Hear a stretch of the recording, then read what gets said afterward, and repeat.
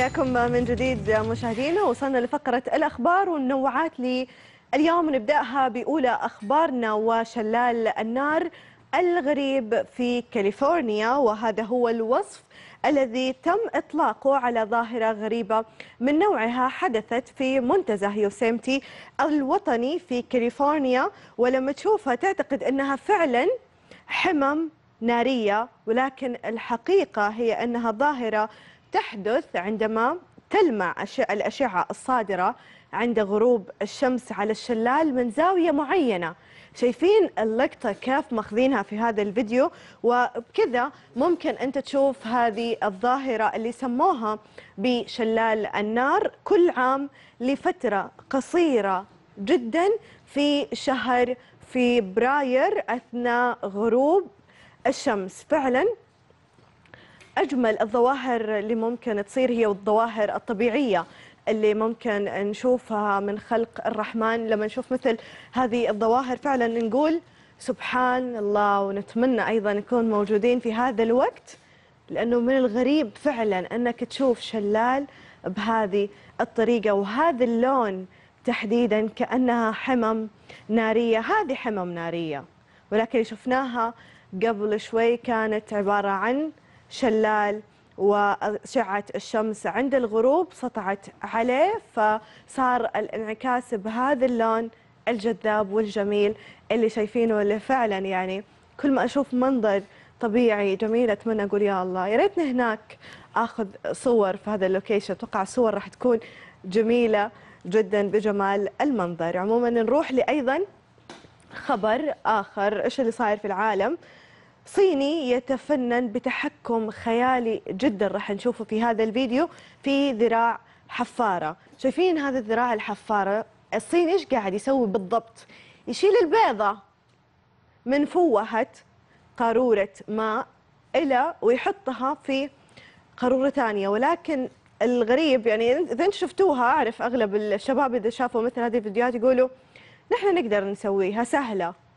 أتحداكم تسووا مثل هذا الشيء اللي نحن قاعدين نشوفه لأنه فعلا تحتاج لقوة تحكم قوة تركيز عالية جدا.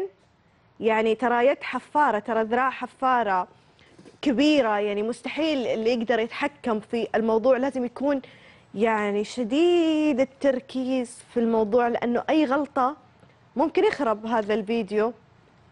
اللي قاعد يسويه وشكله فاضي صراحة هذا العامل. وكل يوم وقت فراغه يقعد يتفنن بمثل هذه الفيديوهات والاختراعات الجميلة. ولكن بالنهاية هو فن صراحة لأنه مو أي أحد يقدر يسويه. وأنا تحديتكم اللي يقدر يسويها يرسل لنا فيديوهات على تويتر أو على حسابنا في انستغرام وممكن يطلع معانا في البرنامج. إلى أيضا خبر آخر لكل محبي وعشاق السيارات. ما أعرف إيش أقول لكم عليها ولكن السيارات النادرة خليني أقول عليها اليوم. تعرفوا على أغلى سيارة بالعالم في تاريخ البشرية. هذه السيارة اللي قاعدين نشوفها يا جماعة. يا شركة بوغاتي أعلنت عن أحدث منتجاتها في معرض جنيف للسيارات لعام 2019 وهي سيارة السيارة السوداء. بالعربي التي تعتبر أغلى السيارات بقيمة 12 مليون دولار. وذكر أيضا مصمم السيارة أن كل عنصر موجود في هذه السيارة تمت صناعته يدويا. يعني تستاهل 12 مليون دولار ولا ما تستاهل؟ تستاهل؟ إيش؟ هتستاهل صح؟ والله الشباب هنا يقولوا لي تستاهل. أول ما شافوا السيارة ما أحكي لكم إيش صار فيهم. لكن أنا ماني من محبي ولا عشاق السيارات آه، ابدا. فشباب أكثر شيء ممكن يتجننوا على مثل هذه المواضيع وممكن أيضا يدفعوا مبالغ طائلة جدا. وبنشوف تحديات في السوشيال ميديا مين عنده أكثر من السيارات الغالية والنادرة. فممكن يستهويهم هذا الموضوع ويحبوا هذا الموضوع. عموما أنا قلت لكم السعر من البداية 12 مليون دولار وبس. إلى أيضا خبر آخر وتقنية غريبة من نوعها صراحة هذه التقنية. لا هذه ما جات ولا راح تجي أتوقع ولا جات على بالي واستغربت جدا لما قريت هذا الخبر. تقنية مكلفة للتواصل مع الموتى. هذا هو عنوان الخبر وطور العلماء تقنية مكلفة جدا ولكنها ستكون قادرة على صناعة صورة هولوغرافية للشخص المتوفي قبل رحيله. يعني لا نمسك الخبر حبة حبة. قبل لا يموت الشخص هم okay عارفين إنه هو راح يموت. قبل ما يموت ياخذوه ويصوروه صورة هولوغرافية okay ويجمعوا معلومات عن أسلوب حياته وعاداته وشخصياته كمان والطعام المفضل وعدد كبير من المعلومات الخاصة بهذا الشخص ويحطوها في صورة رقمية. هذه الصورة الرقمية هي نسخة ظاهرية عن الشخص المتوفي تطابق مظهره الحقيقي بالضبط. يعني مو بس مظهر كمان راح يكون سهل التواصل مع هذا الشخص التقني وراح نقدر نتكلم وناخذ ونعطي معاه وحيرد علينا يعني مو بس كذا. وكمان عارف كل المعلومات اللي توضعت في هذه النسخة الرقمية قبل وفاته راح تكون موجودة بعد وفاة الشخص. وهذا ما يسمى يعني ما أعرف صراحة وتقدروا أيضا تتحدثوا مع هذا الشخص تتبادلوا أيضا الآراء فعلا فين رايحين؟ أنا ما أعرف أبدا إيش تقنية التواصل مع الموتى؟ يعني شيء جدا غريب من نوعه وما نتمنى انتشار يعني مثل هذه التقنيات أبدا ما نتمنى انتشارها. إلى أيضا خبر تقني وكاميرات مراقبة ذكية تكشف اللص قبل السرقة. هذه التقنيات اللي نحتاجها في حياتنا. هذه التقنية تحديدا أطلقتها وقامت شركة يابانية بابتكار هذه التقنية وهي من كاميرات المراقبة تعتمد الذكاء الاصطناعي ويمكن أن تكشف السارق قبل أن يقوم بالسرقة فعليا. إيش بتسوي هذه الكاميرا؟ تقوم بتحليل وجوه الناس ومراقبة لغة الجسد والتصرفات لتحديد ما كانوا هم يعني الشخص هذا مثير للشك ولا لا؟ هذا الشخص ناوي يسرق ولا لا؟ من خلال لغة الجسد الخارجية. بعد كذا ترسل رسالة تنبيه للعاملين في المتجر. وتشز هذه صراحة هذه التقنية جدا جميلة خصوصا بعض المتاجر يعني يكون فيها نقص في عدد العمالة أو في المولات والأسواق.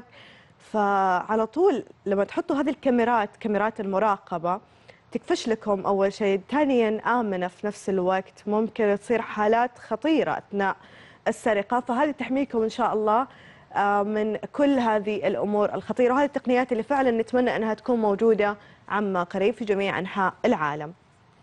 طبعا من كثر الأشياء اللي بنشوفها في الذكاء الاصطناعي والتقنية اللي بنسمعها يوم ورا يوم في كل أخبارنا اليومية فعلا صرنا مستغربين وين راح نروح بهذه التقنية. معنا عبر الهاتف المهندس عبد الله سحاب الغامدي مستشار ومستثمر تقني. ومساء الخير مهندس عبد الله مساء النور يا بنتي حياك.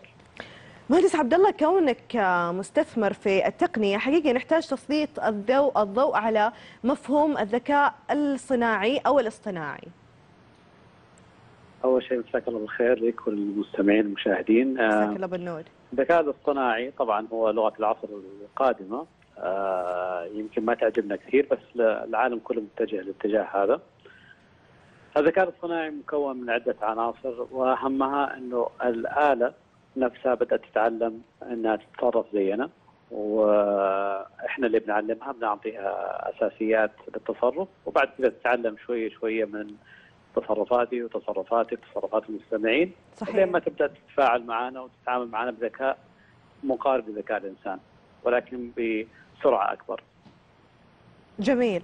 طب واضح يعني مهندس عبد الله إن إحنا يعني في جيل مواجهة جيل من الثورة الرابعة المعتمدة على الذكاء الاصطناعي ولكن نبغى نعرف إيش اللي راح يتغير في حياتنا لو سمحنا لهم يتدخلوا يدخلوا أكثر مما هم داخلين في هذا الذكاء الاصطناعي؟ طبعا في أفلام الخيال العلمي ما ما هي بعيدة عن الواقع اللي حيجي قريب يعني. آه روبوت أو أو رجال آلية حيكونوا جزء من الحياة حيتصرفوا معنا كثير من المهام حتسلم لهم. وإحنا الآن مسلمين كثير من المهام لهم. آه، ولكن حيصيروا أكثر ذكاء وأرخص سعر وأكثر قدرة. ولهم آه، آه، تقنيات معينة تساعدهم في إنه يفهمونا وياخذوا ياخذوا ويعطوا معنا. واو. طبعا آه، قريب جدا حتشوفيهم يتعاملوا معك في المطارات؟ جدا قريب في بعض مطارات العالم الآن شغالين هم اللي يودوك للرحلة هم اللي يدلوك على مكان الطياره آه، في المولات في أشياء كثير صراحة الآن صاروا موجودين مش مم. خيال كان خيال الآن صاروا موجودين. وما والآن موجودين في عمليات الدفاع العسكرية في عمليات الهجوم العسكرية لأنه هو في عمليات فك الألغام فصار أي حاجة ما نبغى نضحي بالإنسان فيها نرسل الآلة تتصرف. وعندها القدرة والذكاء انها تتصرف بشكل مشابه قريب جدا جدا للإنسان. يعني واضح مهندس عبد الله والتمست من كلامك إنه عندك أخبار حصرية نقدر نتكلم عنها وما انذكرت آه، في أي مكان ولا في الأخبار بما قريب قريب بتعيد الكلمة أكثر من مرة فهل. فعلا يعني نقدر نقول 2020 ولا 2019 لا اليوم موجودة، اليوم موجودة في حياتنا يعني آه، أنت كنت تتكلمي نحن عن نتكلم إنه موجودة آه، عندنا بالسعودية. موجود عندنا في السعودية. آه، موجود اي بس في البنوك. فقط. آه، لا مو مش البنوك فقط. موجودة عندك في تحليل الصور والوجيه والأشخاص والتعداد والأشياء. هذه في أكثر من جهة موجودة في السعودية. مم. عندها تقنيات تحلل الناس وتحركاتهم وتوجهاتهم نسميها إحنا آه، إدارة الحشود وإدارة الزحام كلها صارت مؤتمتة نوعا ما.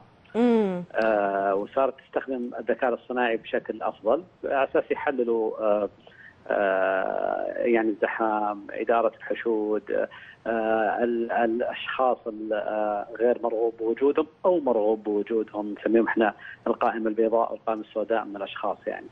أوكي طب يعني هل نحن مثلا في جامعاتنا ومراكز الأبحاث مواكبين لهذه التقنيات الجديدة ولا لا؟ والله اليوم سؤالك جدا مميز ان اليوم جامعتين كلموني عن نفس الموضوع. آه. واضح إنه في توجه عالي جدا من جامعاتنا والله يوفقهم إنه يحطوا الذكاء الاصطناعي.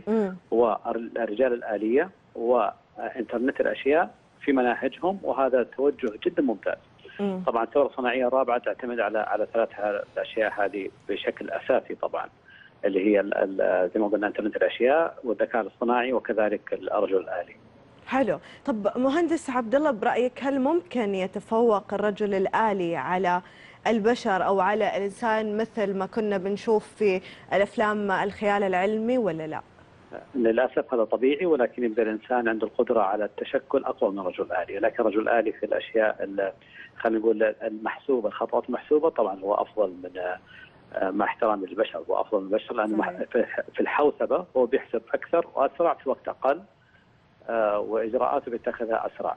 لكن صحيح. يبقى ال- ال- خلينا نقول ال- الخطة أو تغيير ال- المنهجية ما زال العنصر البشري مميز لأنه خلق الله سبحانه وتعالى. صحيح صادق أهم شيء ما يجيبوا مقدمات برامج ولا مذيعين ولا الله مذيعات يستر الله يستر انتبهي بس لا والله طلعوا قبل شوية لا تتوقع من جد؟ طلعوا في الصين في الصين طلعت الصين مذيعة الصين، الأخبار، صح؟ آه، رجل آلي إيوه ولكن عموما آه، آه، اليوم في العالم بتعدم آه، رجال آلية بعدد رجال آلية اللي اللي اللي بتنتج فلا طبيعي. ترى هم بيتمردوا آه،. ونضطر نعدمهم في الأخير جميل. شكرا لك آه، مهندس آه، عبد الله سحاب الغامدي مستشار ومستثمر آه، تقني على هذه المعلومات. والله يبشرك بالخير. جهزوا لهذا العالم والثورة الرابعة في الذكاء الاصطناعي ونحن أكيد مكملين معاكم. بس فاصل قصير وراجعين.